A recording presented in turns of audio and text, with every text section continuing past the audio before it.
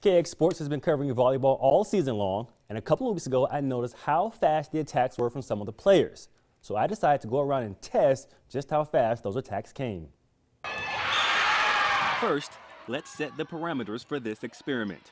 I went to the five Class A volleyball schools in the Bismarck Mandan area. I asked each coach for at least four hitters. I recorded at least three speeds for each athlete. I stood on the court where the 10 foot line and the out of bounds line meet. I recorded readings as volleyballs came toward my direction. Here's what I found. Let's start with the defending state champs. Century had five girls participate. Sophomore Haiti Fitterer recorded the top kill at 37 miles per hour. She also had the highest average at 34.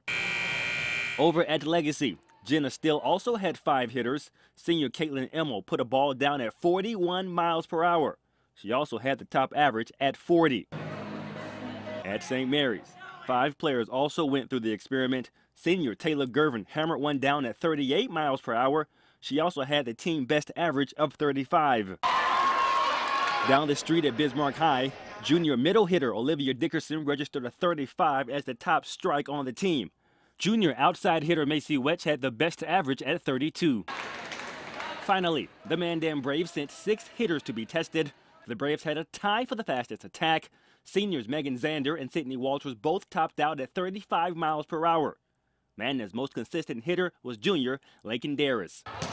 As we look at the team results, Legacy registered the top team average at 34 miles per hour. The Sabres also had the top hitter with Caitlin Emmel at 41. All right, this was a really fun story. I really enjoyed doing it, but I have to make one interesting note.